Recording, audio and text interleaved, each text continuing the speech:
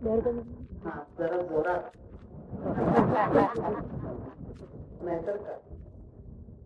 ये है रसिक जन जो गाना बजाना समझता है। आवाज़ से मालूम हो जाते हैं कि कितने सुरीले लोग हैं आप लोग। अरे वाह वाह ये पूना के महत्व है। मैं तो कम से कम तीस साल से आ गई हूँ। आप लोगों की सेवा में आप लोगों ने मुझे बहुत प्यार किया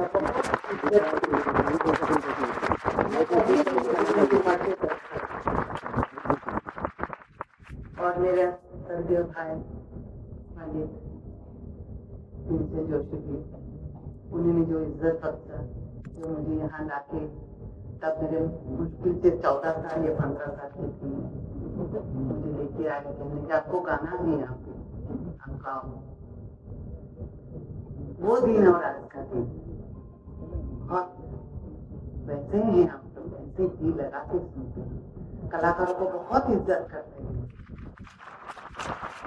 आप यकीन मानिए जहाँ जाते पूरा वर्ल्ड में जितने भी मैं जाती हूँ, हमेशा मैं बोलती हूँ कि महाराष्ट्र में जो सुनकार है।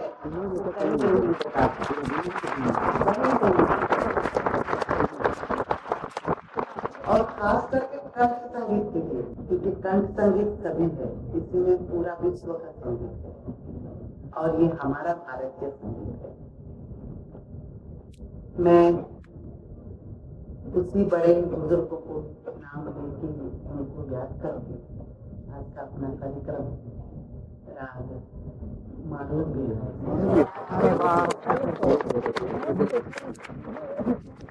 कोशिश करूँगी बहुत मुश्किल काम है। बस गुरुजनों का कृपा रहना चाहिए, भगवान का। सब लोग करता है। तभी जाके कलाकार खुद कर पाते उस जमाने के समय के अंदर दो मिनट दूँगी ग्रीन रूम में एक अलग महफिल हुआ करते थे। और मैं सबसे छोटी कलाकार थी। उम्र में भी, गाने में भी। मेरे सामने दिग्गज लोग जैसे बसंत राव देश पांडे जी और हमारे अप्पा जलगांवकर जी गंगूबाई हम मीरा हीराबाई बरोबर जी। भीमसिंह जो भी है जी मेरे भाई। और कुमार गंधर्व जी हम लोग सब बैठ। के यानी उस वक्त एक कलाकार एक कलाकार के लिए इतना सोचता था इतना आगे लेके जाता था। कोई चाय लेके आ रहे कोई पूछ रहे बेटा, कुछ खाओगे? देवजी जी ने खुद तानपुरा मिला के मुझे स्टेज के ऊपर लेके, मुझे स्टेज पे तानपुरा ये जो प्यार, ये जो संगीत के प्रति श्रद्धा, भक्ति आजकल नहीं मिलता, बहुत कम है। मैं अभी अंदर बैठ के बच्चों को यही बोल रही थी बेटा, हमने जो देखा है, आप लोगों को देखने को सौभाग्य हमें वो सौभाग्य मिला है। ऐसे बुज़ुर्गों के पास बैठ के, और मैं सबसे छोटी थी बल्कि मुझे फ़ायदा भी बहुत होता था। बहुत फ़ायदा मिलती थी, कोई मुझे चॉकलेट ला के दे रहा है, कोई चाय पिला रहा है। और उस वक्त मेरे पिताजी मरहूम जनाब विक्रम वो मेरे साथ रहते पान खाने का बड़ा शौकीन है। और यहाँ पे तो भीमचंद जी से लेकर सब लोग ग्रीन रूम में बैठे, सब लोग सरों का सिर सुपारी काट रहे हैं। और सब एक के बाद एक रागों के बारे में चर्चा हो रहे हैं, बोल रहे हैं। इस स्टेज पे एक होता था और पीछे ग्रीन रूम में एक कार्यक्रम ये माहौल सिवाय कोना के कहीं नहीं मिला। कहीं नहीं मिला। आप लोग बहुत रंगीले मिजाज के लोग बहुत सुनकर बहुत अच्छे सुनकर मुझे तानपुरा मिलाने के बाद भी मुझे नहीं करता वो ऑडियंस हम लोगों ने देखा तो वो अभी भी है, बरकरार है। और उसको आगे रखिए। ये हमारा परंपरा है। ये हमारी पहचान है, हमारे शास्त्रीय संगीत। कहीं ऐसा ना हो कि कल को कोई अमेरिकन को बुलाना पड़े अपना संगीत गाने के लिए। भगवान ना करे। बोल लगा ये बाजूला गया ना या बाजूला गया समझ तो बता। रात मारो बेहार मेरे साथ श्रीनिवास आचार्य बहुत अच्छा बजाते हैं। पहले दफ़ा सवाई गंधर्व में बजाने जा रहे हैं। रखने का तो क्या तारीफ़ करे माशाल्लाह क्या बात है और बाकी सब हमारे शागिर्द जो हैं पीछे कानपुरा बजा रहे हैं आप लोग मुझे आशीर्वाद दीजिए ताकि मेरे पास सबको थोड़ा